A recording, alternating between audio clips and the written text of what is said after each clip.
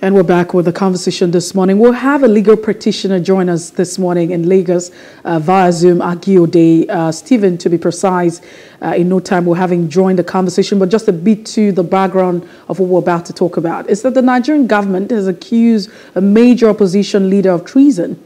Now, weeks after the candidate of the ruling party won a hotly contested presidential election, the government spokesperson Lai Mohammed gave a government's position during an engagement with journalists in Washington, D.C., that's in the United States. According to the Minister of Information and Culture, Lai Mohammed accused the presidential candidate of the Labour Party, Peter Obi, of inciting people to violence over the outcome of the presidential election, saying it's treasonable. Now, during the respective interactions with international media organization, the minister said that it was wrong for Obi on the one uh, breath to seek redress in court, and the other hand, uh, of the outcome of the polls, actually, and the other hand, also to incite people to violence. Obi and his vice, Datti Ahmed, cannot be threatening Nigerians that if the president-elect Bola Ahmed Tinubu of the All Progressive Congress is sworn in on May the 29th, it will be the end of democracy in Nigeria. Uh, you know, the conversation is endless. Uh, the thoughts are still there, but this is a point where we have our guests join us. Let's make sense of all of this back and forth. The fact that there also reeks, the stand chance of being, you know, they probably might be arrested. It seemed like they're enemy of the state. Uh, Stephen Agiode, thank you once again for joining us. Good morning, my pleasure. So, um, quickly, I- would like to ask you what exactly is a treason according to the Constitution and to other laws uh, in our polity? What exactly is a treason? Treason denotes a series of acts where you, by force, want to overthrow a, a well constituted government. So it's, a, it's, it's very simple. That means by some act or some uh, some definite deed, you are trying to overthrow the government of a country. That's what it simply means in, in layman terms. Mm, so, but, but do you think that, you know, the actions or the accusation of the federal government in response to, uh, I mean, if you look at that, juxtaposing that with your definition of a treason according to the laws of the land, do you think that mm. it's uh, a treason? No, uh, uh, what um, Alhaji Dati Mohammed has said is, is wrong and it is condemnable. If you contest an election and uh, you are in court over it, uh, you should not be declaring the end of democracy. That is wrong. But at the same time, uh, I don't think it rises to the level of treason. And I think actually it's irresponsible for anyone to actually even be talking about treason at this time. Uh, it, it, it, may be wrong for him to say that, but uh, one must place it in the context of what is going on in our polity right now. Um, someone has won, they're in court. What I would have thought is that the spokesman for the for the winner at this time should engage in calming naps rather than exacerbating situations. One can see that when we lose something, at least um, they say baby that uh, that uh, you haven't fed or will cry. Uh, naturally, they lost an election, they will cry. But uh, one should not uh, extend that crying and then turn it into another thing and say it is a treason. Uh, um, one can condemn what they have said and say it is wrong. That's on one hand, but to extend it to treason, no, I think it's still within the bounds of free, free speech, even though it is wrong and condemnable. That's my own view. Well, so, so then look, looking at that, uh, if you say that that's condemnable, just again, uh, the, the thought when Datti Ahmed, this is not that I'm holding brief for you know the Labour presidential candidate, but we're just looking at the issue when we juxtapose it with what the law and the constitution says. You have someone who's trying to overthrow a government. For you to say that uh, the president-elect should not be sworn in because the election was not uh, free, fair, and credible, uh, does that really, really, really align with the definition of treason when you say you're trying to overthrow government. Is there any way in the statement that was made that sounds like, you know, there's a plan to overthrow the government, whether by that particular statement or other actions? Again, uh, you are, uh, you know, a man of the law, and so uh, I'd like you to bring us up to speed critically. Like I said, um, what he has said, you have to take the text of what he said carefully. You take everything he has said carefully, it does not amount to treason. It's still within the bounds of free speech. You take every single word of what he said, that democracy will end. That is his opinion, that democracy will end. He didn't say there should be a coup. No, he didn't go there. He just said you'll be doing something illegal and unconstitutional. That is his opinion, even though it's wrong. You may say that if someone is contesting for that high level of office, he assumes the status of a statesman. So he should, watch what he says. And I would agree completely that he should watch what he says. But is what he has said out really outside the bounds of free speech? Has it gone to the extent of what what uh, what uh, treasonable act has he done really? What really what re- unconstitutional act has he done? He has said something that he shouldn't have said, but it's still broadly within the range of free speech. Uh, it, it may be irresponsible to expect a statesman to be talking like this, but that does not mean it's treason. And I, I think that those who are talking treason should be well guided, should be well guided, because before you know it, you are going into the realm of authoritarianism where you are you are it's like someone is hot don't cry. No no no no you don't do that. You are going beyond the bounds of you yourself are going beyond the bounds of democracy when you do that. There should be a certain latitude for speech in a democracy. Mm. so who speech that is my point so, but then again, uh, with what the government has said, there's also been a response from the side of the Labour Party saying that they have never in any way incited anyone or tried to overthrow uh, the constitutional government. But then again, do you see this government moving ahead to um, swing into action in, in that light, declaring them an enemy of a state, making arrests and what have you? If they do that, it will be a very bad omen and it will be taking us back rather than forward. What one would expect of the government now uh, and um, people of goodwill is to say to the Labour Party vice president that uh, he should temper things down for now. He's a statesman at this point. He should temper things down and face the court action which they have instituted and let that play its course. Uh, he's in court already he may win, he may lose, we don't know yet. He should face the court action. He can even express opinions about the court where he is, so long as uh, he doesn't enter into the uh, range of prejudging the court's action. It, we should allow a lot of latitude for free speech. He can, he can talk, but as a statesman, should he be uh, talking about the end of democracy? No. Um, but to speak of arrest, then you, really you are entering, in my view, into the range of fascism. You are entering into the range of fascism, into the range of authoritarianism. One must allow democracy to have full amplitude and plenitude. You must you, you must allow it to to to stay large. You must give every room for people to speak, to say what they want and all that. These people are aggrieved. They lost an election. You let them speak. But uh, um, the uh, vice president of the vice presidential candidate of the Labour Party is a statesman, and he should uh, he should not heat up the polity. But this I, is what men of goodwill should tell you. Mm-hmm. I, I, mean, there's also a statement for from a very noble Nigerian, Wole Soyinka, who's yes. in his response yes. to all of the back and forth that's going on with the Labour Party and what have you. He's described them, he's, he said that the Obidient uh, fascist. And, and people believe that, you know, Wole Soyinka calling the Obidient fascist is part of the plan. that this, this is politically motivated. There's an agenda to demarket, you know, the presidential candidate of the Labour Party uh, by the ruling government. Do you agree with this? No, because uh, I'm, admir- I'm an admirer of Soyinka.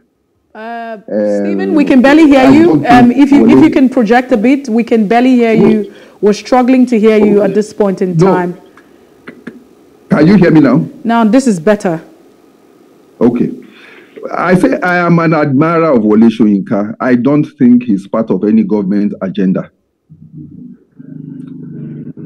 I think that he has, uh, well, I, I don't uh, see anything wrong in him saying that um, Mr. Datti's statement uh, borders on fascism because um, when you are saying that uh, because whilst you are in court, because you have not had your way, uh, therefore democracy is ending. Uh, you are having a tunnel vision view of uh, of politics.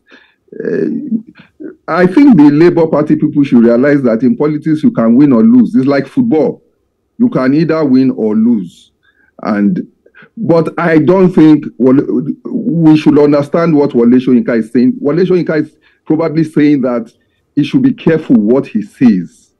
That his statements are fascist. But at the same time, I find fault with uh, the learned uh, professor because the learned professor has not made any comment about the, some of the things that happened in the. I grant that he says he was not around during the elections, but he has not made any statement about the things that happened during the election, where, uh, particularly in Lagos State, where people are saying that uh, Igbos were about to drive Europe. The, ethnic, the kind of dirty ethnic politics that was, was played, one would have expected by now that Professor Wole Soyinka will make a comment on that. Not only in Lagos, the uh, kind of violence and uh, ethnicity that was exhibited nationwide. I know he made a general statement of, of that, but he needs to condemn those ones specifically too. As he says that what uh, Alhaji Datti has said is fascist. But uh, that what Wole Soyinka has said should not be a license for anyone to now say that uh, he wants to ground a, a, a, charge of treason on that. I'm sure Wole Soyinka himself, who has faced this kind of matters before, will not intend that. I, and there was nowhere in the interview that uh, has granted where he said that uh, Alhaji Dati should be arrested or Obi should be arrested. He didn't say that. Uh, I think he even had some complimentary things to say about the uh, obedient movement, uh, about the emergence of Obi as a credible candidate. I think he had some. He did not, if you listen to him carefully, say that what Alhaji Dati has said amounts to treason. He didn't say that and uh, and I don't think anyone should stretch it to that and think that is part of any agenda. Personally, I don't think it's part of any agenda. No, That's but uh, um, I mean, it, it's not that he it was said that he said that, but you know the description that he has mm. given over time. He said, that, you know, it's a sort sort of very narciss, uh, fascism or fascist uh, description that he's given, and he's greeted a lot of condemnation from uh, several Nigerians. But again I, like us to understand this uh, because what you have the Labour Party doing is what uh, it feels like every other politi- politician does every other time. We will not accept, we will not concede defeat. We, we, we're going to challenge the process. We don't think he was elected, yeah. he shouldn't be sworn in. These are the statements because also vividly, uh, we remember the time where President Muhammad Buhari himself had rejected results from 2003 elections. He yes, rejected yes. results from 2007, rejected results from exactly. 2011. How come exactly. he wasn't tagged as, you know, all of the rejection of results, saying, I don't accept it, uh, all of that. How come he wasn't, that, that particular act was not described as, you know, uh, a treason because if someone says you have committed a treason, it, it's huge. You have been declared an enemy of state, and it's well, not something that the international community or you know the home community as well would want to deal with. So again, uh, what sort of conversation is this? And should the government not also be held accountable for making such statement? Uh, how do we classify it? Is this hate speech? Is this propaganda? Where exactly does this lie? Yes. No, if you listen carefully to Wole Soyinka's interviews, he did say that uh, he felt that all the spokesmen for all the parties, all the spokesmen for all the parties should be sent to Ukraine. For the time they should be sent to Ukraine. Uh, he said it as a joke that they should be sent to Ukraine because they were heating up the polity. He said he also felt that the spokesman of the uh, winner of the election should should uh, should go somewhere because you see they are the ones eating up the polity. You, if you notice, President Buhari has not spoken. If you notice too, uh, um, the major candidate, the presidential candidate of the APC, who who is the declared winner, has not spoken himself. What you are hearing about treason and all that are from uh, ministers, maybe from party apparatchiks and all that. What you are not hearing from the president of the country. We are not hearing from the responsible minister for national security of defense. So, um, you see, so I just see you have a group of people hitting up the policy, and I think Wole rightly said uh, in his interviews that uh, we should take care to deport these people to Ukraine. It used to be Afghanistan, but okay, now it's Ukraine. Maybe they should go and experience what war means so that they can know uh, how to, uh, how to be circumspect about uh, making statements that lead to uh, disorder. So, but uh, you know, in all of this, what big lessons do you think that we can take home again uh, after the election 2023? There's still an aftermath, and that's what we're talking about. different parties are aggrieved; they have approached the court, and then this cycle continues over and over again. What lessons can we mm. learn? What exactly can we do differently in uh, another election cycle? Well, I take it one by one. For the Labour Party, they came third. They are a new, polit- they are a new political force in Nigeria. Uh, they achieved a lot. They won where they were not expected to win, and I think they should take away some some level of satisfaction from their performance. We shouldn't wash away the baby with that water. I know maybe they expected to win, but uh, I think they have done well. I think they have done well. Um, they, if you look back in our history too, you see uh, Chief Awolowo contested many times and he never won. Buhari too contested many times and he never won. Um, uh, maybe it is immaturity that is playing through at this point. Uh, maybe the candidates of the LP were more experienced. They will temper it down. If you don't win this time, you can win another time. That's democracy. It's like a football game. You know, sometimes you lose when you should win. Sometimes you win when you should lose. This is uh, democracy. I think uh, they should go to a court if they want. That's their right. But uh, whatever plays out there, I think they should accept it and move on and build a stronger movement. That's the point.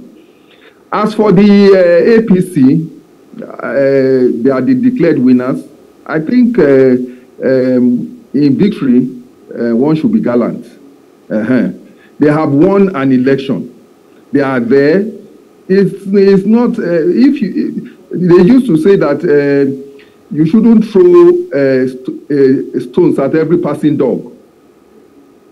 people will make comment and all that, but then they, it's not for them to throw stones. I think rather at this point, being the prospective leaders of the country, they should show uh, more maturity. Um, well, as for the well, the PDP, uh, they have not uh, featured in this controversy, so let's leave them alone. But as for the people of Nigeria, my message is uh, democracy is important, and the defense of democracy is important. Um, the difference of free speech is important. Uh, whenever free speech like this is being challenged and you hear things like, oh, we are going to uh, people banding things like treason about and all that. You need people to come out and say, no, this is wrong. Don't go that far. Particularly as there are no acts to support it. Uh, mere statements do not amount to treason. And even if you look at the statement, you won't say anything treasonable. So you, I expect Nigerians to come out and say, no, don't go that way. So that, because sometimes if you don't talk, um, you will find a situation where uh, actually uh, things may begin to happen that uh, perhaps the authorities might feel, ah, if, if, people are not talking, this is what they want. So people need to talk and say, no, no, no let's not, let's not uh, throw the politics into confusion. We can caution ourselves and move on. Politics is a game. That's how I see it. Uh, free speech is very important. What he has said may be wrong, but you can you can make you are entitled to say wrong things when you are when you are exercising your right of free speech. Um, so the other part yeah. of the question is, uh, what exactly do you think that we need to do in, in the next election cycle? I mean, we're looking well, at all stakeholders involved yes, now. Th th yes. Thank you for drawing my attention to it. It's INEC, INEC and INEC again. INEC was uh, a major disappointment in this election. They made promises that they couldn't live up to. Uh, they said that the IREV will be instant. It wasn't instant and all that. INEC needs to go back to the drawing board. Their performance in this election cycle was shambolic, if we are to be honest. And the leaders, the leaders, the current leaders should acknowledge that as a matter of urgency, when Yar'Adua came to power, even though he won election, he acknowledged there were problems with the process that brought him there, and he set up a committee. This is the way of good leadership. There have been there were problems with this election. We shouldn't sweep it under the carpet under under the guys that oh, our party won. No, no, no, no, no. They should go back to the drawing board. INEC should go back to the drawing board and look at what went wrong and correct it. The federal government itself should acknowledge that there were problems with these elections and try to find a solution. I know we are hurtling down to census now to another program, but you see, you don't keep hurtling from one problem to the other without solving uh, one. I think that the uh, what happened in this election should be the subject of some seminars and discussions within government to improve on. Uh, obviously, the the template that uh, INEC set out for this election didn't work out as planned. That is clear. So they should think of, of uh, reworking it and improving their performance for future elections. That is my opinion. They should think of reworking their performance for future elections. This election has not lived up to it. This their performance in this election has not lived up to the billing. The truth be told, and government should acknowledge it. Mm. There's no shame in acknowledging the truth. Uh, then Stephen Agiodei, we have to let it go at this point in time. Thank you so much for being part of the show. It's my pleasure. All right, then we have been speaking with a legal practitioner right here in Lagos. He joined us via Zoom, uh, looking at what a treasonable offense is, or if you know the actions of the Labour Party utterances has been made. Not to say that you know statements have not been made, but is that tantamount to uh, a treason? At what point do you say that an individual or group of persons have committed, you know, a treasonable offense. Uh, th that's the size of it this morning. We take a breather. When we return, we'll be looking at our second conversation. The federal government, the government itself, are swinging to action already as they have decided to say, hey, we are taking 800 million naira loan just to cushion the effects of the subsidy removal, uh, you know, after six months in 2023. Stay with us. We'll be right back.